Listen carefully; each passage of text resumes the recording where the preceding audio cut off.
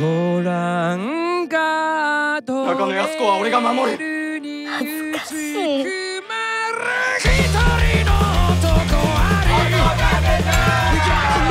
佐久間さんって誰ですか？聡明大ラグビー部怪物ナンバーエイト。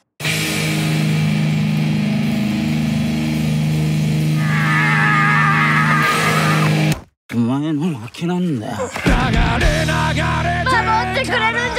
のただの男が立ち上がれ。おう。力になってやからよ。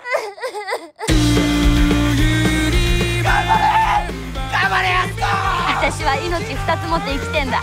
あんたには負けないよ。人生負けっぱなしの男が絶対に勝たなきゃいけない。喧嘩に挑む。俺の人生バラ色だからよ。う